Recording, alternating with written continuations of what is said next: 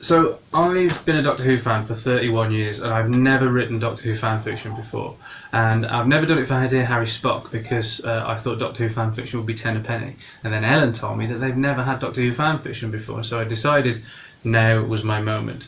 So I went looking to see what Doctor Who fan fiction was like. Uh, and it turns out a lot of it, uh, the companion teaching the Doctor about sex or female biology, or basically just wanking him off. Um, and I think those stories are really easy to write when the companion is a, a pretty young female. And so uh, uh, I've decided to sort of like redress the balance a little bit. Uh, so after 31 years, here is my very first Doctor Who fan fiction. The police box materialised with its customary wheezing and groaning, and the doors were flung open by an excitable, eccentrically dressed character. No matter what face they wore, they had always had a slightly offbeat taste in clothes, but 21st century Earth had reached a point where they no longer stood out so they spent less and less time there. This was the doctor. And they were excited to have arrived. That was no real change, to be honest. Even though they'd been travelling to different planets and different time zones for well over 2,000 years by this point, they were always excited.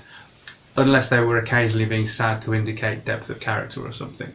They ran several paces from the TARDIS, looked up at the sky they'd seen hundreds of times before, inhaled through clenched teeth for some reason, and looked back to the police box. They journeyed with a vast array of travelling companions, usually pretty young women for no creepy reason. Shut up, why would you suggest that? The Doctor travelled with company, ostensibly to show them the wonders of the universe, otherwise unreachable to them, but mostly just to show off. No, what does it matter that they're mostly women? Shut up, what are you implying? Perhaps tired of explaining themselves, the Doctor was currently accompanied on limitless adventures across space and time by Sean, who hadn't really got into it as much as the others had, although there was still something about him. The doctor bounced up and down and urged Sean out of the TARDIS. Eventually, he sauntered non-committally out of the doors with his trusty carrier bag. He and the doctor locked eyes for the longest time, the doctor pursing their lips and kind of genuflecting.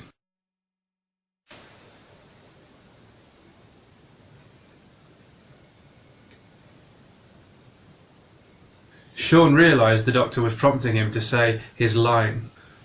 Where are we today, doctor? The Doctor could be a right arsehole. You want to know where we are today? We're on the Eye of Orion! Yes!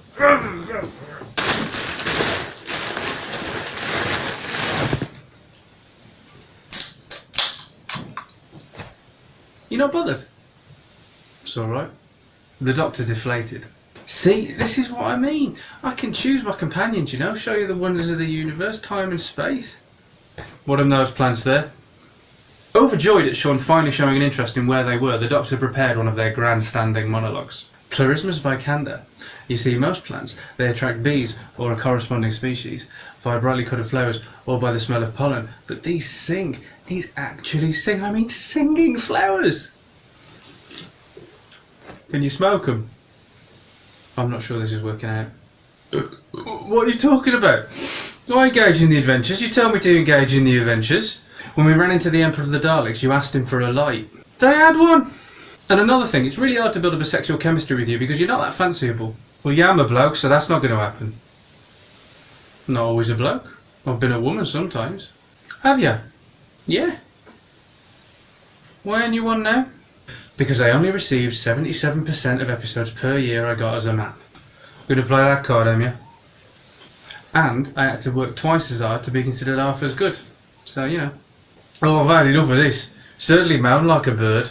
Don't you want to see the Eye of Orion? I don't give a shit about the Eye of Orion. I'm going to go back to the TARDIS, watch a bit of telly, have a few cans. Gonna have a wank, are you? Yes, I'm gonna have a wank. That was the most animated the Doctor had ever seen, Sean.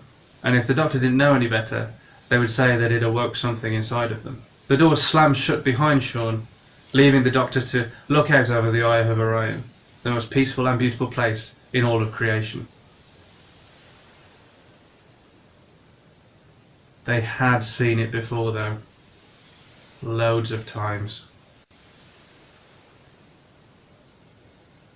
I'll come with you.